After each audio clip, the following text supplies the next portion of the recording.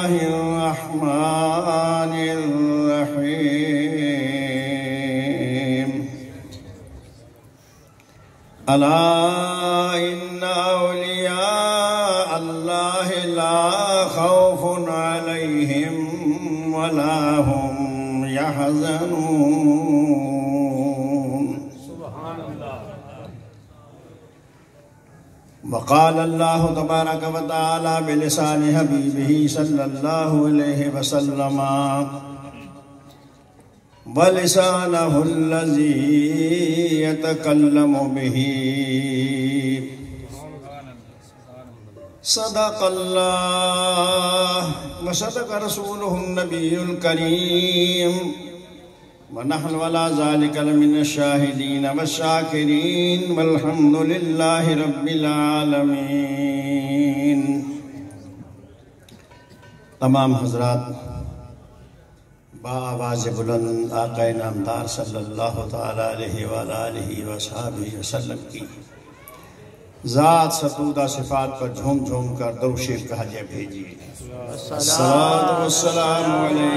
रसूल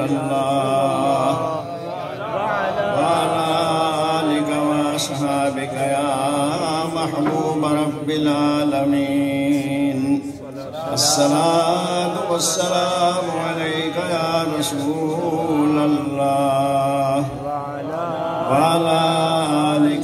आलिका व असहाबिका या शफीअल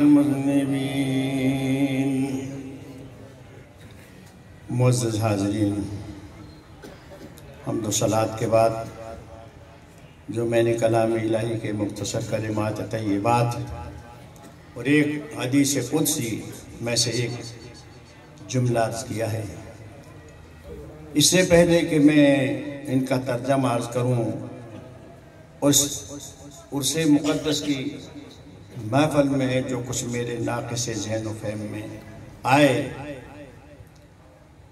अल्लाह पाक अपने महबूब करीम सल्लल्लाहु अलैहि वसल्लम और औलिया इज़ाम के फैज़ान के सदके मुझे हक अर्ज़ करने की और आप सबको हक सुनने की और हम सबको उस पर अमल करने की तोफ़ी कहने का ता फरमाए। मेरे बुज़ुर्गों और मेरे दोस्तों और अजीज़ों तकरीर के शुरू करने से पहले मैं ये अर्ज़ कर दूँ कि मेरा नाचीज़ का हमेशा ये तरीक़ेकार रहा है और अल्लाह इस पर मुझे गामजन रखे कि ये किराम का जो जम गफ़ीर बैठा हुआ है या कोई मजमे में है, कोई स्टेज पे है, मैंने हमेशा इनकी इज़्ज़त, एहतराम और इनके मकाम का ख्याल किया है। बुज़ुर्गों बुज़ुर्गों की बुजुर्गी और वलियों की वलायत।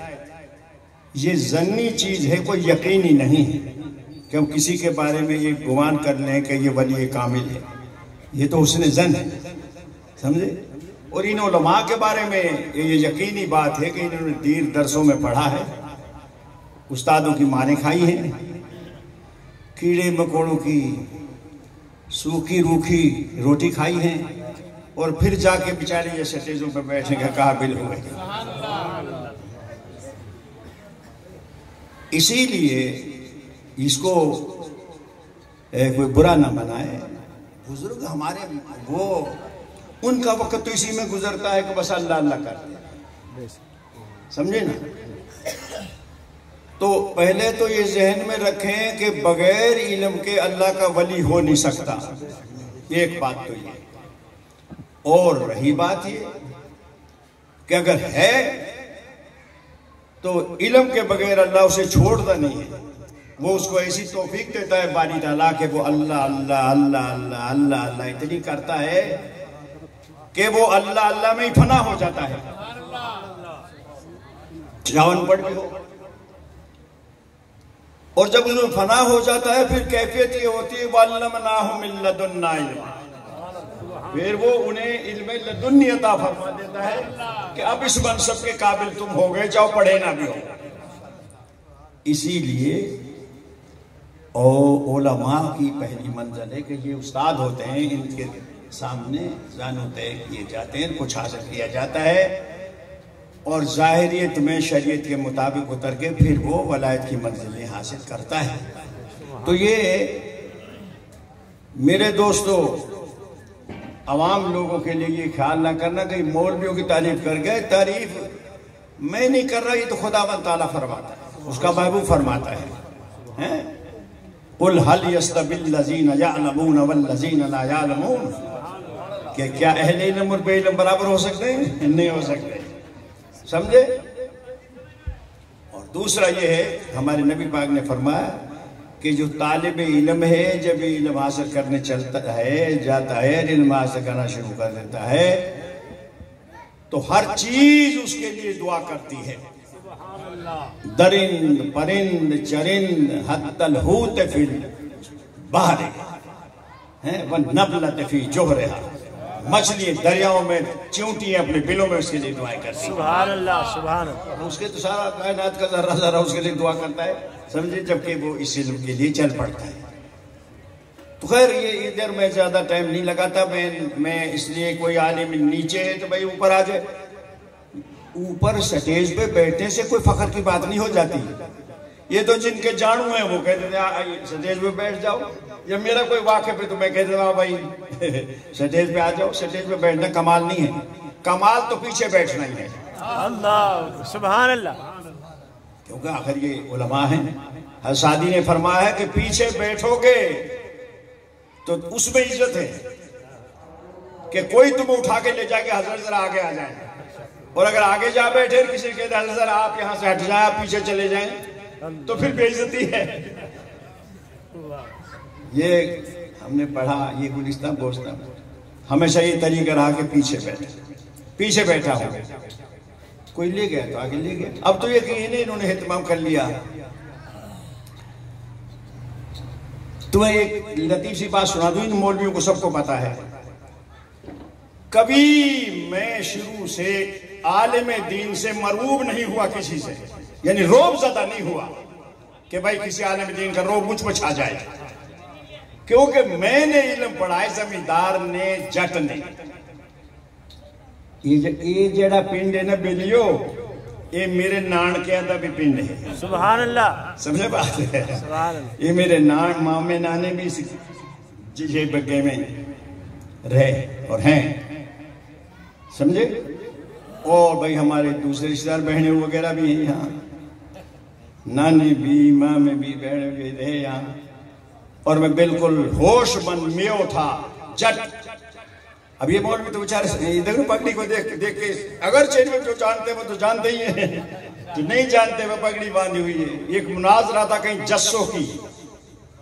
तो जस्सो की में लैलपुर के मौलवी और तो गंडा सिंह के मौलाना हसन मोहम्मद साहब भी थे, उनका वो खुंडा रखते थे। तो ये अब्दुल कादर रोपी से मुनाजरा था तो वो गाड़ी दे रहे थे सटेज पे। उनके केड़े मौलवी ने बुला लिया, गाला करता उनकी आदत थी गाड़ी देना।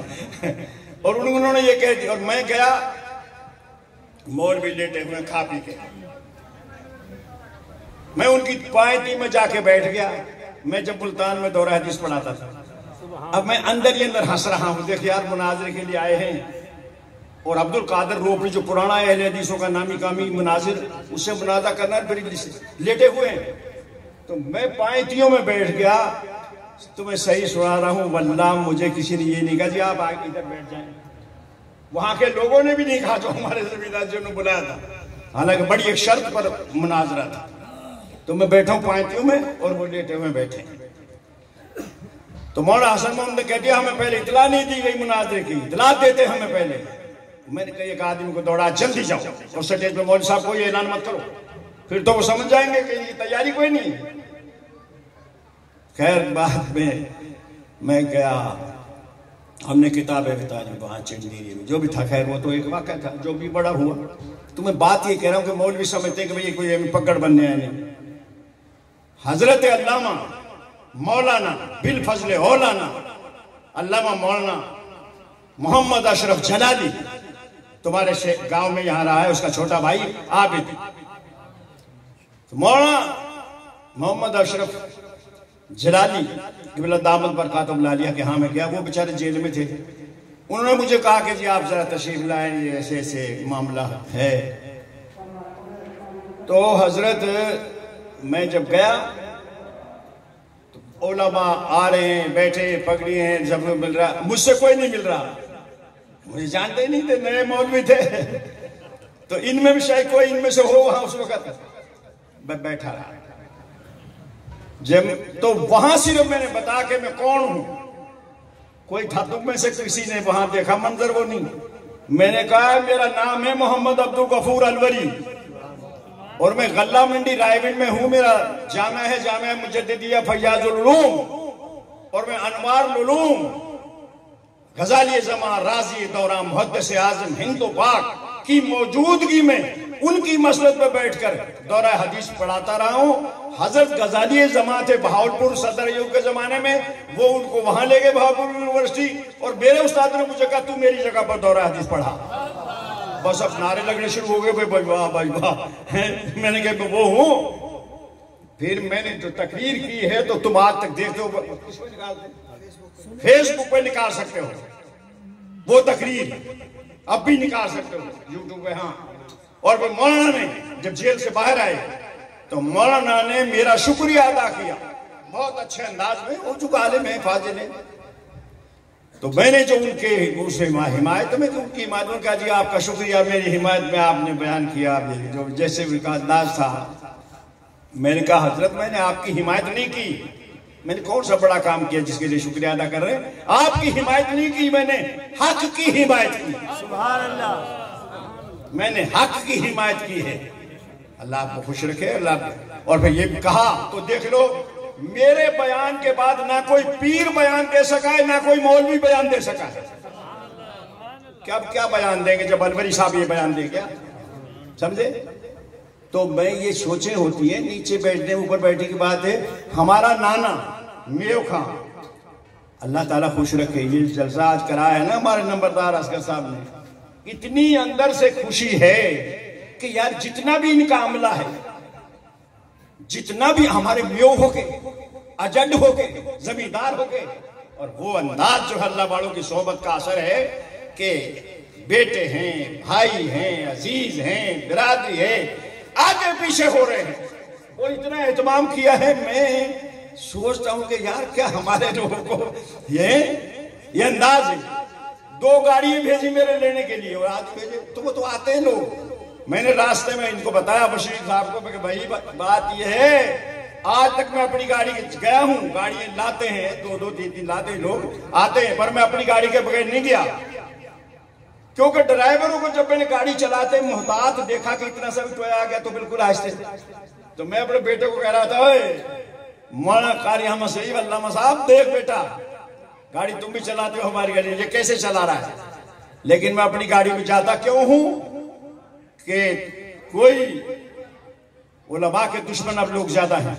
तो मैं दूसरे की गाड़ी में नहीं बैठता, अपनी गाड़ी में बैठता हूँ। गाड़ी चलाने का खुद माहिर हूँ। मेरे बेटे माहिर हैं, मेरा बड़ा बेटा फौत हो गया। बहुत गाड़ी तेज चलाता था थार तो मैंने कहा, गाड़ी, उस वक्त गाड़ी की परवाह नहीं की जाती। उस वक्त जान की परवाह की जाती है कि दुश्मन के गाड़ी को कैसे निकालेंगे कहा के निकालेंगे। अगर तुम ड्राइवर की गाड़ी में बैठे, ड्राइवर ने कहा चलाना है लो, पकड़ लो, जिसानो पकड़ लो तो गड्डी तोड़ दो। तो मैंने कहा तुम्हारी, एक तुम्हारे अंदाज को देख के और मैं तुम्हारे साथ अपनी गाड़ी के बगैर आ रहा हूँ, नहीं तो मैं अपनी गाड़ी के बगैर आता नहीं हूँ अगर से लोगों की गाड़ियाँ भी होती हैं। क्योंकि इनका सलीका बड़ा, बुजुर्गा ने दीन की सोबत का असर देखा। तो मैं कह रहा था भाई मेरे नाने ने शादी की कि असगर को, असगर लंबरदार को पता होगा जो कैसे थे? बुजुर्गान की सोबत तो बैठे पगड़ी सर पे है, बुज़ुर्ग साथ बैठे हैं। आप लोग देख रहे हो अल्लाह खुश रखे अल्लाह सलामत रखे। दुनिया तो बड़ों बड़ों के पास हुई है लेकिन दुनिया वही है जो दीन पे लग जाए। तो ओ, कैसे कैसे वो कलात है वो कैसे कैसे नाम और शख्सियत उस वक्त ज़िंदा थी और मैं उन फमान शबाब था। अब मेरी बूछे भी नहीं आई थी। मेरा चाचा समूह भी यही था ये मामा सरदार हरबी हवा ज़िंदा। ये सारे थे यहाँ। तो अब नाना मियो खां और ये सारे चाहे भी चार पाई अब ये सार तो उस वक्त पता है खाना कैसे खाते थे? जैसे तुम बैठे तुम बैठे सूफे पे। बिल्कुल। बाखड़े झाड़ देगा, मैं मेवाती बोलता हूँ, यहाँ में हो। बाखड़ झाड़ दी और नीचे बैठ गया। पावन पर बैठ गया नीचे और भाई उनको रोटी डाल रहे हैं। कोई सूफा साफा नहीं होता था। अब वो सोच के कि ये शरकुल पढ़ता है तालब इल्म है मेरा भतीजा चाचा समूह जो है वो नाना सोचे, मेरा नवाजा है। उस जमाने में उनके दिल में एहतराम ये था। मैं मैं भाप गया मैंने कहा, चाचा, क्या बात है? कैसे भागे फिर रहे हो? ये शफात वकील जैसा, उस्मान वकील जैसा बड़े बड़े वकील थे उस वक्त, और बड़े बड़े नामवर चौधरी थे। उन्होंने सबको दावत दी थी, बहुत बड़ी। असगर तेरा इल्म में यही बात कि ना है। आए हाय, पहले की बात है। मेवात से मैं आठ साल का लोर में पैदा हुआ चार का खेड़ान में। सुन रहा हूँ? हाँ चार दादा की उम्र को हूँ मैं। कभी ही भी तार शक हो तो हमें कौन मरूब करे, कौन देखे?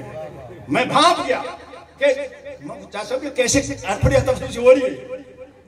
कि कोई चार भाई ला रहा है तेरे चार भाई में तो बिठावा तो रोटी इन ये सब नीचे खावा मैंने कहा चाचा क्या बात कर रही तुमने? क्यों? मैं मेव नहीं हूँ। मुझे बिरादरी से निकालते हो। मैं बिरादरी के साथ खाऊँगा अल्लाह की कसम शफात का वकील ने कड़ी ठोक कहा वाह शाबाश। और कसूर उसने कहा था एक जमाना आएगा कि ये लड़का इतना बड़ा आलिम फाजिल होगा कि इसकी मिसाल बहुत मुश्किल मिलेगी। सुभान अल्लाह सुभान अल्लाह ये उन्होंने कहा मैं नहीं कह रहा अपने लिए ये बात। लेकिन मैं जहाँ तैश में आ जाऊँ जहाँ कोई वैसी बात हो फिर मैं बड़ों बड़ों का मुकाबला किया है बड़ों बड़ों को झुका दिया है। तो मासूम नंबर सरे मतलब। अल्लाह पाक हमारे नंबरदार असगर और इनके हवारी इनके मामिनो मोमिन लोग जितने भी हैं इनको इतनी बरकतें नसीब फरमाए और जितने भी तुम हाजरीन हो अल्लाह इन सबको अपनी नेमत और बरकतों से माला माल फरमाए और इन उलमा के इल्म फजल में बरकतें नसीब फरमाए। हैं? ये गुस्सा मौलवी आबद था बेचारा वो आशफ साहब का भाई छोटा। तो ये अब्दुलरहमान वगैरह मेरा बड़ा प्यारा है, अब्दुलरहमान बैठा है यहाँ। ये बैठे सारे। ये कहने लगा, जी, महफिल उर्स की। और मुझे कहता है, जी, इब्राहिम इस्लाम का वाक्य बयान करो। मैंने कहा, भाई, ये वो तुरसी नहीं है जो नशे उतार दे। मुझे मौजूद से तुड़का रहा है। ऐसे आप तो बहुत देखे मैंने। हैं, लेकिन हाँ अल्लाह उसको जन्नत नसीब करे। यहाँ रहा है, मुझे खिदमत की है, कुछ दिन मस्जिद में रहा है। जितने दिन रहा है, मुझको उस मस्जिद में नहीं बुलाया। उस मस्जिद में मेरे बेशुमार तकरीरें हुई हैं। बड़ी बड़ी हुई और बड़े बड़े अकीदतमंद लोग थे। लेकिन वो, बस वो यही समझा कि हम चू वो इस रंग का था बेचारा आदमी। अल्लाह उसको जन्नत नसीब करे। अल्लाह उसको जन्नत नसीब करे। और जितने भी उलमा हमारे चले गए, बुजुर्गान दिन चले गए, अल्लाह सबको जन्नत नसीब करे। लेकिन जाके दिल में ज़्यादा हमदर्दी हो गई। आबिद की, मरहूम की तो रहती है। हाँ। मुझसे कह गए एक दफ़ा में वो यहाँ होंगे शायद। के जी, पीर करम शाह साहब के बारे में जरा आप लिख दे, काफिर है। और के जी, और ये मौलाना मोहम्मद है ना मिनहाजुल कुरान वाले, क्या नाम उनका? ताहिर कादी। ताहिर कादी के बारे में लिखे काफिर है। मैंने कहा, और लिस्ट बना रखी थी, अरे मैंने कहा, मौलाना, जो काफिर है, उनको काफिर कहो। ये तो अपने हैं। मैंने अल्लाह। को कहा खुदा रसूल गवाह है। और फरिश्ते मेरे साथ मौजूद है कि मैंने कहा तू बता करम शाह साहब जितना इलम रखता है उन्हीं के साथ नहीं। मैं जो अब्दुल कादर के जो उससे मेरा मुनाजरा हुआ हैं अब्दुल कादर शाह साहब रावलपिंडी के बारे में मैंने कहा कि जी वो भी काफिर। ताहिर साहब ये जो ये कहा ताहिर कादी अब्दुल कादर शाह पी कर चारों। मैंने कहा बताइए तीन थे। मैंने कहा तीनों जितना मैं मौलाना तो इलम रखता है ईमान से बता। कि नहीं? तो फिर उनको काफिर कैसे कहते वो तो हमारे अपने हैं। उन्होंने काम किया है। उन्होंने काम किया तो, तो मेरे दर्शन कराएगा तो निशानी बड़ी बात बड़ी साहब ने काफिर कह दिया। बोले काफिर ना हो और उसको काफिर कह दो तो कुफर लौट आता है उसी तरह तो मुझे भी मारता है तो भाई मौलाना। ये नहीं। तो खैर वो मुझे बेचारा अच्छा आदमी था सुबह एक नज़रिया था। तो हर आदमी की कोई ना कोई अकीदत तो मिली जामा चाव कधी की है। हसीना दी जुल्फा। कैसे वो शेर मामदीन था पंजाबी हसीना दी जुल्फा, कहा तेरी किस्मत? तू खोती थी पूछड़ पकड़ मामदीना हसीना दी जुल्फा, कहाँ तेरी किस्मत? तू खोदी थी पूछड़ पकड़ माम दीना है? तो भाई बात ये अकीद मन तो गधी का भी हो हैं मैं गधी बड़ी अच्छी है। समझे तो ये अलग बात है। लेकिन पीर फड़ो चुड़ के और पानी पियो पुण के। ये सोने के पानी से लिखने के काबिल पंजाबी का मुहावरा है ये। लेकिन पीर फड़ो चुड़ के और पानी पियो पुण के। खैर, मैं इसे मैंने ये इतनी तकलीफ़ तो वैसे ही कर दी। लेकिन बातें कुछ तुम्हारे शायद समझ में आ जाए, तुम्हारे शायद के उतर जाए, तुम्हारे दिल में मेरी बात। अल्लाह ताला ने फरमाया, अला अल्लाह है। ला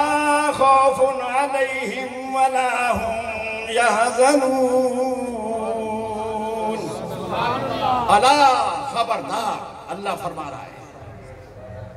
खबरदार, आगाह हो जाओ, बेदार होकर सुनो। जो अल्लाह के वली हैं, जो अल्लाह के प्यारे हैं, जो अल्लाह के महबूब हैं, ला खौफुन अलैहिम वला हुम यहज़नून। अल्लाह के वलियों को ना किसी किस्म का खौफ है और ना वो गमगीन होते हैं, ना गमगीन होते हैं और ना ही वो गमगीन होंगे। मेरे नबी मुकर्रम मोहम्मद वसल्लम के दीवानों, ये औलिया की माफल है। ये वली कामल मुत्तकीन, हज़रत ख्वाजा नजीर साहब शरीफ वाले। और यहाँ भावलपुर में आपका मजार अकदस है। ये उनके सिलसिले में उर्स है। और उनके सिले से मोहम्मद इलियास साहब हमारे नंबरदार हज़रत के वालिद का नाम मोहम्मद इलियास वो कराते रहे। अल्लाह ने वो सिला दिया। बेटों की नेकी यानी बाप की नेकी बेटे के काम आती है और बेटे की नेकी बाप के काम आती है। में रखें। जिनका बाप अच्छा है बेटे भी अच्छे होते हैं और जिनका बेटा अच्छा है उनके बाप भी बाप की चूँकि तरबियत होती है तो उनकी तरबियत है मेरे नबी मुकर्रम मोहम्मद के दीवानों। मेरे आकाई व मौलाई व सैयदी व सनदी व उस्तादी व उस्तादुल उलमा, गजाली जमा, राज़ी दौरा मुहद्दिस आज़म हिंदो पाक, जब भावलपुर यूनिवर्सिटी में पढ़ाते थे तो हज़रत पीर किबला पीर सैयद नजीर अहमद शाह अलैह की कोठी में रहते थे। जब उनका विशाल हो गया तो गजाली जमा ने फरमाया कि ओ हमें पता ही अब चला है कि उनका ये मकाम था। ये बड़ी शान के बुज़ुर्ग गुजरे हैं देसुल्ला शहीद वाली सरकार। तमाम रियासत के लोग बाहर निकल आए पार्टीशन के टाइम लेकिन लोगों को निकलने नहीं दिया पीर साहब। धाड़ों की धारें आती थी सारे गाँव को आग लगा दी जाती थी उस वक्त।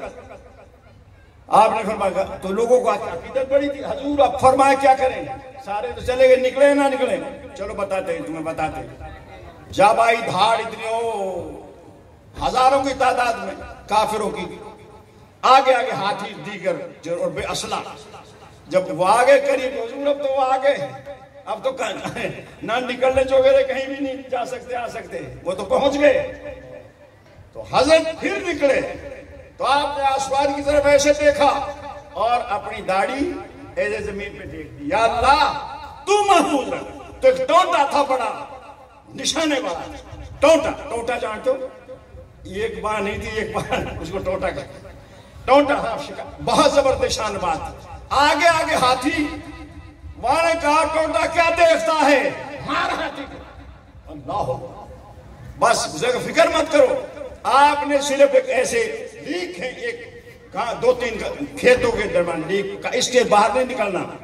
जब वो करीब आ गए तो उसने निशाना लगा कर हाथी की आँख में गोली दी। और जब हाथी की आँख में गोली लगी, चीख मारी हाथी ने। आपको पता नहीं कितनों के ऊपर चढ़ा, कितनों को लश्कर को रोम डाला उसने भागे उल्टे के उल्टे। सारे काबर भागे।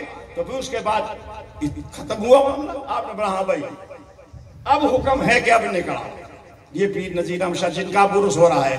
बड़े बाकमाल बुज़ुर्ग थे। ये हुए देशुल्ला वाले मियाँ साहब हुए तुलड़ा वाले मियाँ साहब हुए मामा वाले मियाँ साहब हुए हैं? देख एक से एक बुज़ुर्ग पूरे हैं गुजरे हैं हमारे मेवात में और जितने बुज़ुर्ग हुए कुतुब से नीचे हुआ नहीं खैर मेरे नबी मुकर्रम मोहम्मद रसूलुल्लाह सल्लल्लाहु अलैहि वसल्लम के दीवानों अल्लाह ने फरमाया मेरे बंदों को ना कोई खौफ होता है, ना कोई ये गमगीन होते हैं, और ना ही गमगीन हो इनको ना यहाँ गम आता है, ना वहाँ गम आएगा। और मेरे नबी मुकर्रम मोहम्मद वसल्लम के दीवानों, इनकी शान में, अल्लाह के शान में, अल्लाह वालों की शान में, अल्लाह पाक के महबूब ने फरमा कर अल्लाह ने फरमाया मैं उनकी जबान बन जाता हूँ, फिर वो उससे बोलते हैं। हदीस में लंबी है। उनकी आँखें हो जाते हो बसरहुल्लती युबसरु बिही। वयदहुल्लती यब्तशु बिहा। वरिजलहुल्लती यमशी बिहा। हाथ बन जाता हूँ उससे पकड़ते हैं। पाँव बन जाता हूँ उससे चलते हैं। तो अल्लाह वाले की जबान से जो निकल जाता है, फिर वही होता है। मेरे नबी मुकर्रम मोहम्मद रसूलुल्लाह सल्लल्लाहु अलैहि वसल्लम के परवानों अहलुल्लाह की ये शान है जो हम इनका लंगर खाते हैं। हैं? इनसे कहते हुजूर, दुआ करो। तो जब वो दुआ करते हैं तो इनकी दुआ रद्द नहीं होती इसलिए कि वो वो उस जबान से दुआ करते हैं जिसके बारे में रब ने फरमाया व लिसानहुल्लज़ी यतकल्लमु बिही. मैं उनकी वो जबान बजा था। नाराय तहकीक नाराय हैदरी हज़रत मौलाना मुफ्ती अब्दुल गफूर साहब अलवरी अहले सुन्ना मुहक के आले सुन्नत। नाराय तकबीर नाराय रिसालत नाराय रिसालत नाराय तहकीक नाराय हैदरी उलमा अहले सुन्नत शान औलिया कामिलीन तुम्हें नारा नहीं आता? है उस उसमें वैसे ही आ बैठे हो। बोलिए तुम तो नारा ला दो, कौन किसे देखी बंद हो ये मेरा दाना लग रहा है। नारा तकबीर कहा है उन्होंने? नारा रिसालत कहा है? तो वैसे भी थोड़ा टांग करते रहते हो नहीं? लब्बैक लब्बैक। मारो, नारा तकबीर।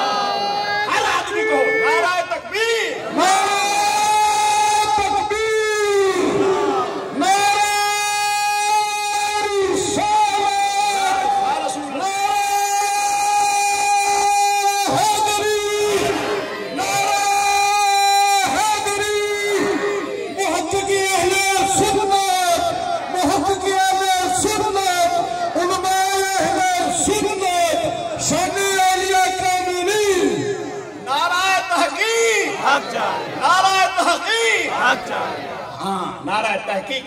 अब ये लगाना ज़रूरी है। हज़रत अली भी हमारे हम उनके हैं, वो हमारे। कोई और दावा करे तो गलत करता है। सुन्नी कहता है, अली मेरे तो बोल हमारे हैं। हैं? तुम्हें मालूम होना चाहिए शेखैन करीमैन हज़रत सिद्दीक सैदना सिद्दीक अकबर, हज फारूक आज़म आगे से आ रहे हैं। तो हजूर पाक तशरीफ़ ले जा रहे हैं। हज़रत हैदर करा हजूर के साथ साथ चल रहे हैं। आगे जब उनको देखा तो हजूर पाक ने इरशाद फरमाया, ए मेरे अली, हाजाने सैयदा कुहूल अहल जन्नत मिनल अव्वलीन वल आखिरीन इल्ला नबिय्यीन वल मुरसलीन। या अली ला तुखबिरहुमा ए अली, तुझे पता है कौन आ रहे हैं? ये जन्नत के तमाम बूढ़ों के सरदार हैं, अव्वलीन आखिरीन सबके। और मगर सिवाय अंबिया और रसूलों के तो मेरे लिए ला तुखबिर हो, माँ, इनको मत बताना ये बात। फरमाया इन दोनों को तू ये बात मत बताना जो मेरे अली मैं तुझसे कह रहा हूँ। हाय हाय। सरदार है वो दोनों। अल्लाह ये आला हजर कहा कि वो अव्वलीन आखिरी सबके सरदार हैं। सरदार हैं वो दोनों। आलम के ए, रजा ऐसा कहा है। ए, सरदार हैं वो दोनों? सरदार हैं दो हाँ, ना ऐसे नहीं है, है तो मैं भी, भूल रहा हूँ। लेकिन अल्फाज अल्फाज ऐसे ही हैं आए हाय। सरदार हैं ये दोनों। है। दोनों जहाँ ये मतलब यही है कि दोनों जहाँ के हैं? लेकिन फिर, लेकिन आखिर ला शेर पढ़ देता हूँ से तुम्हें मालूम हो जाए। इस ये ये शेर पढ़ के, और हुजूर ने ये फरमाया, ऐसा मिटा दे उनकी विला में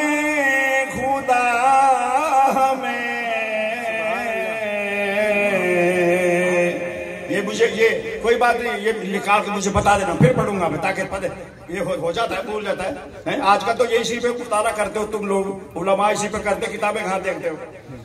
ऐसा मिटा दे उनकी विला में खुदा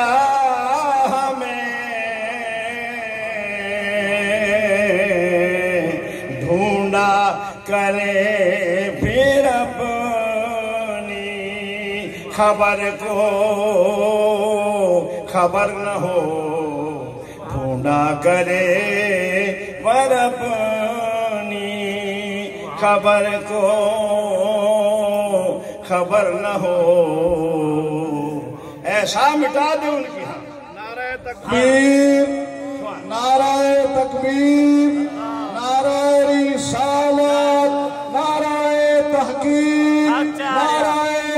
अच्छा। नाराय हैदरी शान औलिया।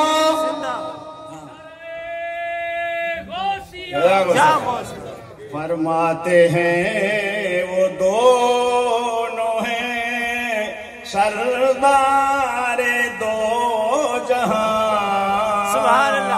ये हदीस का तर्जमा है। आला हक का नाम है कुरान हदीस का तर्जमा है।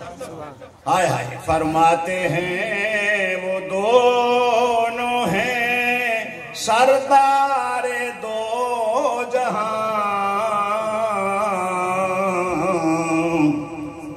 ए मुर्तजा अतीको, उमर को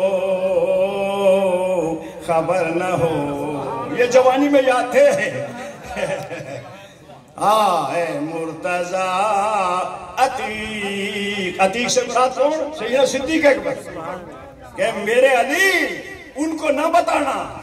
ना तुखबिर हो माँ, उनको मत बताना ये बात। तो हजूर अलैहिस्सलाम के इसलिए नारा तहकीक ज़रूर होना चाहिए, याद रखो। ये ये लगाओ।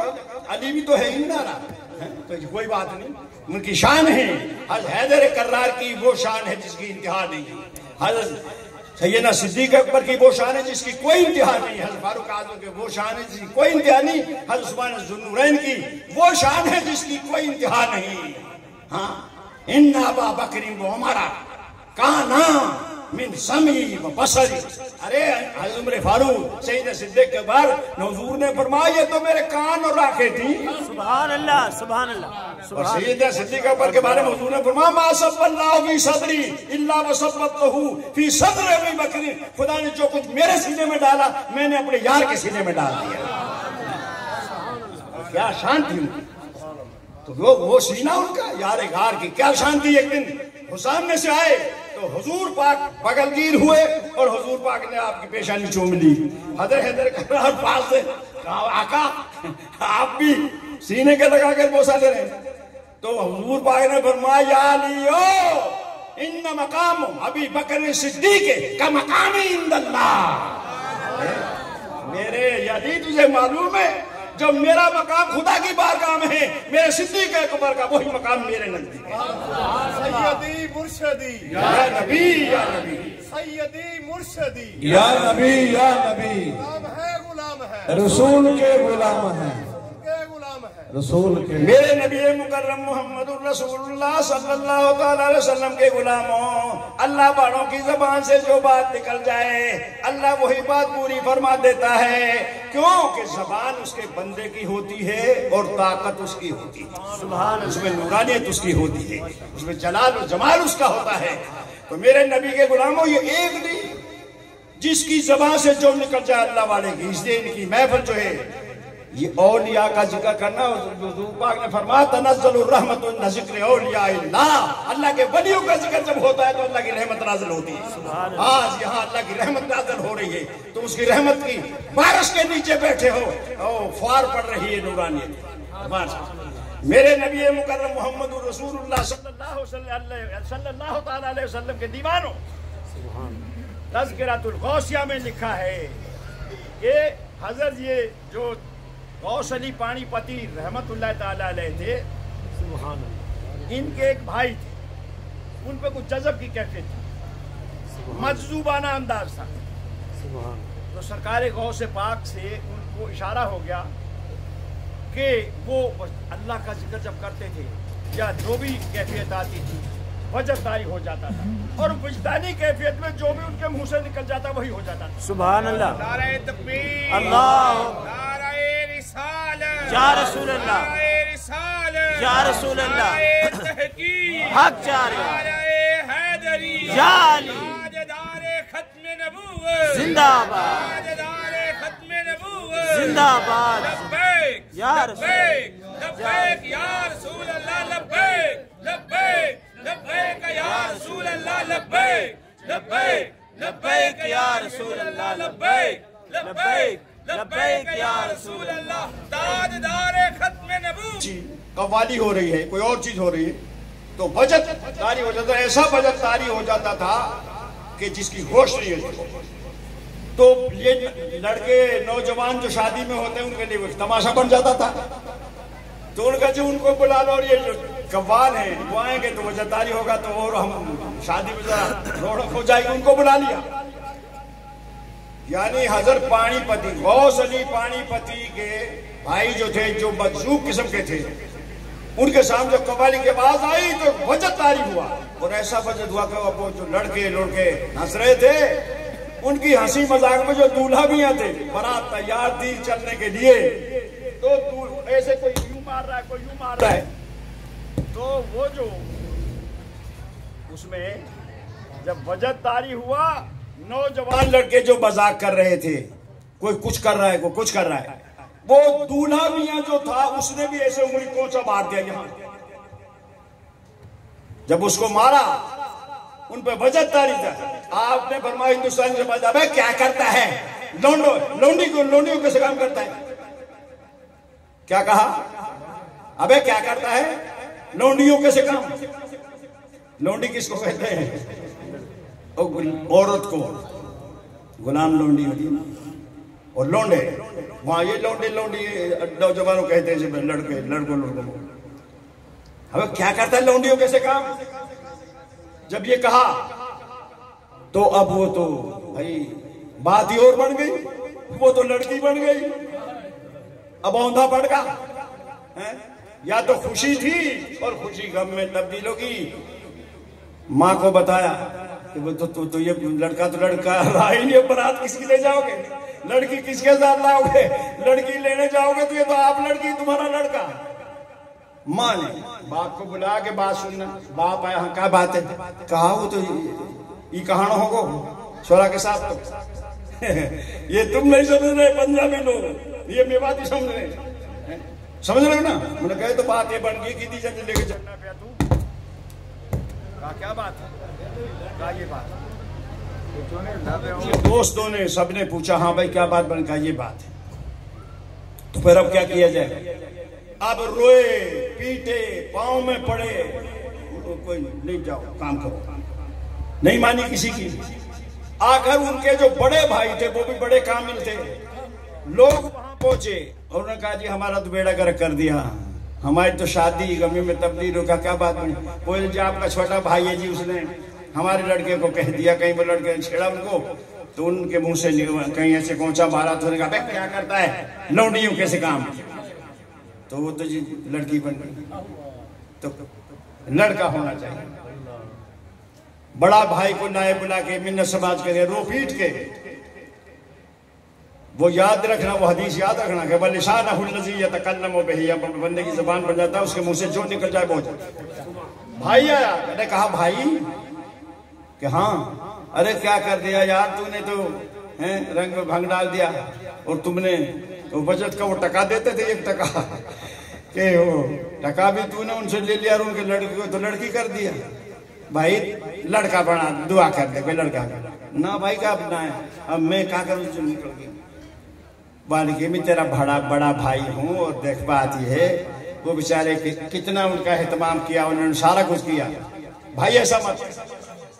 कि तो भाई बात ही है, यार को टको खरो है, टका और दे और फिर उसी तरह कव्वाली करो फिर देखो अल्लाह को जैसे मंजूर है। फिर कव्वाली शुरू हुई। जब कव्वाली शुरू हुई तो बजट तारी हो गया। और जब बजट तारी हुआ, फिर उसने आराम से उंगली लगाई। पहले तो ऐसे मारी ना आराम से उंगली लगाई। अबे क्या करता है, लोंडो कैसे काम